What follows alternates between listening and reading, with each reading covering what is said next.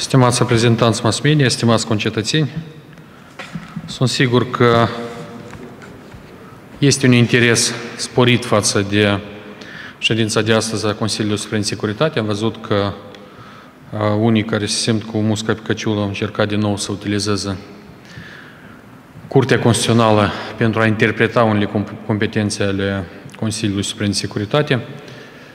A durat două ore jumate astăzi ședința, au participat toate instituțiile și sunt ferm convins că instituțiile statului își vor face datoria, indiferent de interpretările și încercările unora.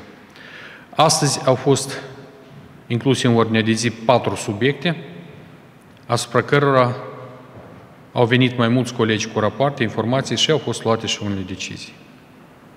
Ce subiecte? 1. Furtul miliardului. 2. Situația legată de aeroport și investitorul în aeroport, așa numit investitor Aviainvest. 3. Tot ceea ce ține de schemele de contrabandă. Și 4. Situația cu pandemia COVID în Republica Moldova. Eu o să vă informez succint pe fiecare subiect. Începem cu furtul uh, miliardului, care evident că este cea mai mare crimă împotriva cetățenilor noștri din toată perioada independenței țării noastre. După cum cunoașteți, în perioada 2015-2019 au fost mai multe investigații, dar, în opinia tuturor celor care au fost prezenți astăzi la ședință, toate investigațiile, marea majoritate, au fost mimarea încercărilor de a găsi vinovatul și de a întoarce banii la stat. Chiar și același raport Kroll a fost o filieră greșită pentru ca organele de stat să se ocupe cu altceva, dar nu cu ceea ce trebuie. Vreau să menționez că astăzi am uh, examinat detaliat toate etapele și la ce concluzii au ajuns diferite organe. Eu vreau să vă amintesc că anul trecut a fost și un raport prezentat de Comisia Parlamentară de Investigații. Și vreau să vă spun că, în mare parte, concluziile acelor raport se confirmă. Vreau să vă amintesc despre ce este vorba.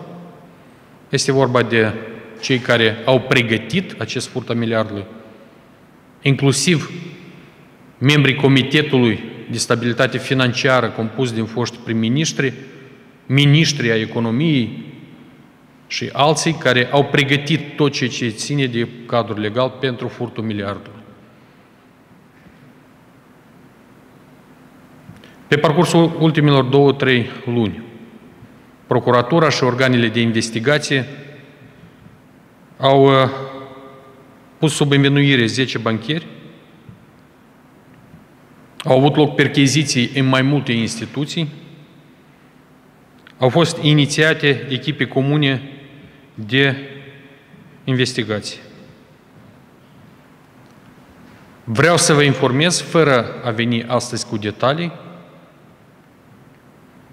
că există progres substanțial în ceea ce ține de investigarea fraudei bancare. Cei care au comis aceste încălcări, cei care acum ne privesc și înțeleg despre ce vorbim noi, și concetățenii care așteaptă de la noi lucru concret, stimați concetățeni, o să vedeți, în timp apropiat, toți o să ajungă acolo unde trebuie. Există organele de anchetă,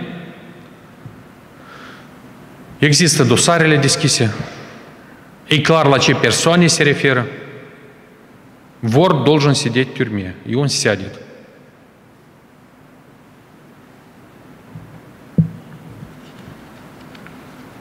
Încă o dată, nu doar cei care la etapa finală au apărut în investigații, și nu doar unde s-au dus banii,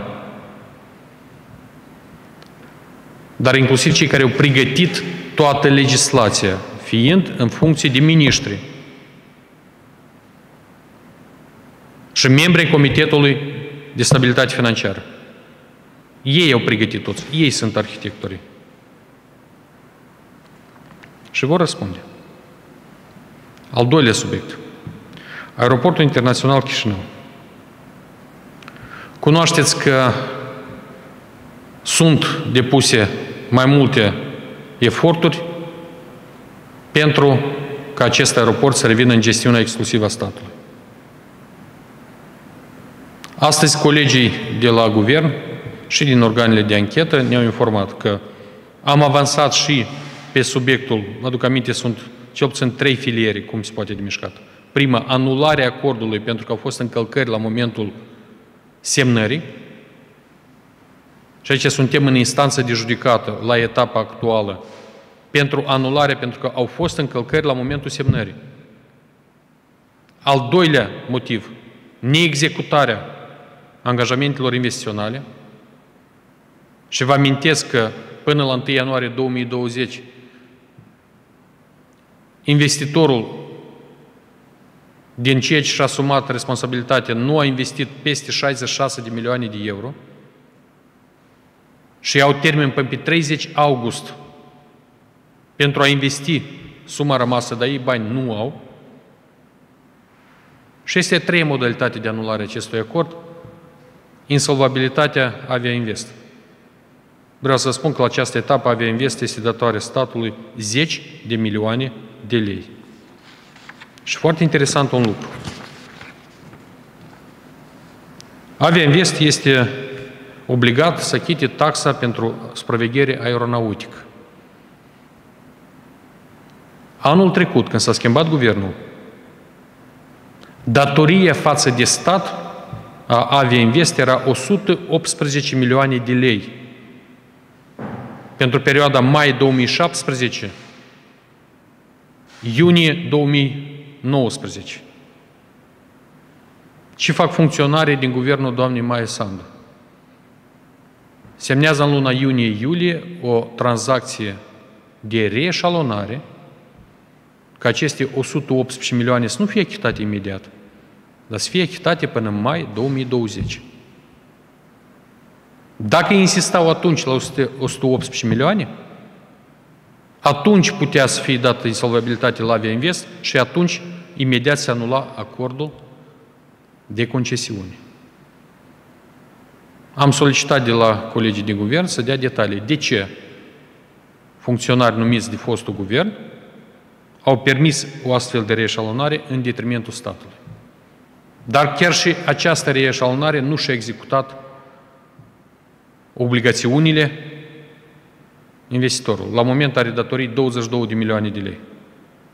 Plus penalități, vreo 500 de mii de euro pe alte probleme, plus 10 milioane de lei. Plus datorii la bugetul de stat curente, 10 milioane de lei plus o taxă care trebuie să o achite până la sfârșitul lunii iunie, încă 10, 9 milioane de lei. Per total, la vreo 50-60 de milioane de lei avea invest pe dator statului. Conturile sunt blocate. Conturile sunt blocate. Și este un punct în acordul de concesiune că în caz de insolvabilitate a investitorului, contractul se consideră automat anulat. Acum, înțelegeți de ce s-au activizat unii la etapa asta? Pentru că în câteva săptămâni rămân fără aeroport. În același timp, în următoarele zile, în următoarele săptămâni, în următoarele perioadă, vor fi pași concret pe furtul miliard. Ia ca prin ce se explică presiunea asupra deputaților, presiunea asupra guvernului Chicul, încercarea de a utiliza Curtea Constituțională în calitate de instrument politic. Vreau să vă asigur că instituțiile statului vor merge ferm pe aceste două subiecte de importanță națională. Indiferent de ce vor face. Noi vom ajunge la capăt și pe aeroport și pe miliard. Iar acțiuni sperăm că din partea instituțiilor statului vor fi în timpul cel mai apropiat. Al treilea subiect, contrabanda. Au fost discutate detaliat toate riscurile de contrabandă pe mai multe categorii de mărfuri, tutungerie, spirit, chihlimbar, mijloace financiare, apropo dosarul cu un milion jumătate de euro va fi în curând în judecată și banii la buget, anabolice, automobile și așa mai departe. Toate aceste detalii, toate aceste posibile scheme au fost discutate detaliat, am văzut unde sunt lacunile, dacă sunt în legislație. Am discutat ce modificăm în legislație. Știți că în zilele trecute au fost împreună SIS împreună cu Serviciul Vamal, au depistat la un depozit cutii pregătite pentru țigări de contrabandă. Pentru țigări în valoare de zeci de milioane de euro. Cutiile au fost depistate, încă o dată, datorită activității Serviciului Informații Securitate, Serviciului VAMA. Astfel de activități și acțiuni vor continua. Foarte ferm și dur. Chihlimbarul schemele s-a stopat, spiritul schemele s-a stopat, practic nu este în ceea ce a fost anterior. Tutungerie schemele se stopează și o să le stopăm și practic au fost stopate. Dacă încearcă cineva să mai joace cu asta, astăzi toate instituțiile au primit indicații de la Consiliu, recomandări de la Consiliul Suprem Securitate. Și sper foarte mult că în următoarele zile vom vedea și rezultate concrete. Situația epidemiologică. Cunoașteți că pe data de 15 mai se finalizează starea de urgență care a fost impusă de Parlamentul Republicii Moldova. Noi, după cum știți, am decis că nu vom veni cu o solicitare față de Parlament să prelungim starea de urgență, dar aceasta nu înseamnă că riscul a trecut. Începând cu ziua de mâine, începe activitatea, situația, Comisia Extraordinară privind sănătatea publică,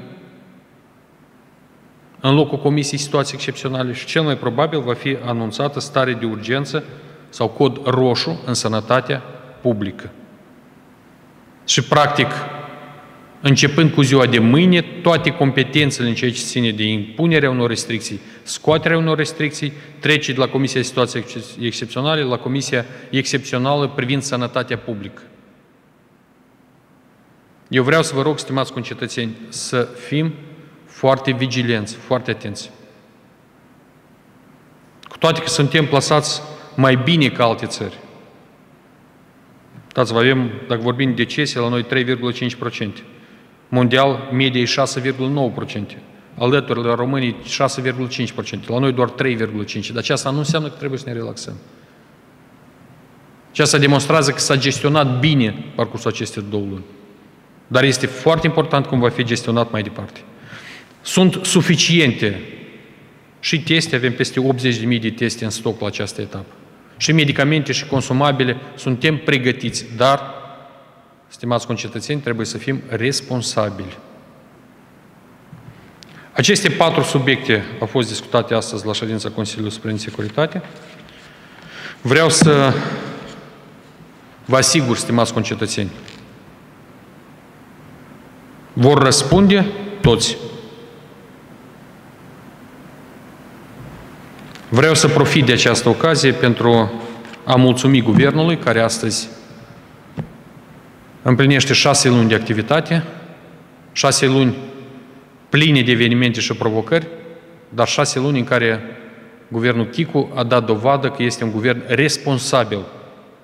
Oameni profesioniști, oameni care sunt devotați intereselor statului și oameni care pot face față și pandemiei, și crizei economice, și secetii.